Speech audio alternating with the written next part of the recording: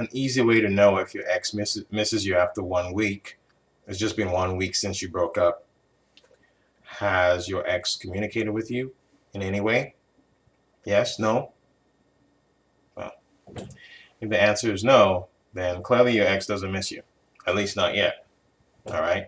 So there's a good chance you obviously miss your ex. You're thinking about your ex. You have feelings for your ex and you're wondering if they feel the same way.